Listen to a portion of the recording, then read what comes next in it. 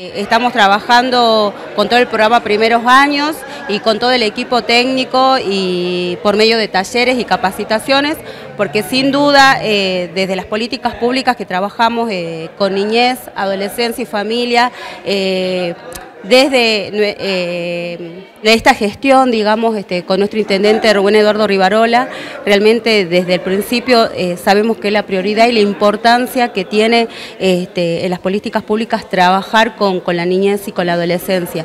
Y es por esto que nos parece importante eh, la capacitación de nuestro equipo, como son las, maestras de los distintos CDI y CRI, ¿no? y la capacitación interna para mejorar el espacio y sobre todo para mejorar la calidad del servicio y en esta área tan sensible ¿no? y, en esta etapa tan importante como es la niñez y la adolescencia. En esta nueva etapa lo que se armó es la zona de crianza, que es este espacio eh, increíble, eh, con bibliotecas para niños y niñas entre 0 a 4 años, juegos, juguetes, actividades para mamás embarazadas, en fin.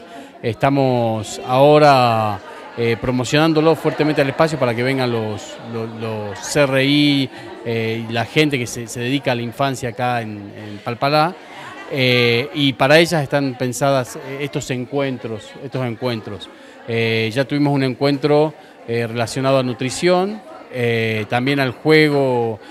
en esta instancia ahora estamos con las maestras que están en los CRI y en los CDI de acá de la municipalidad porque queremos articular una manera de poder tener una biblioteca móvil que pueda ir a las salas y organizar encuentros con los papás, las mamás, los niños y las niñas y las maestras eh, en, base a los cuentos y la infancia.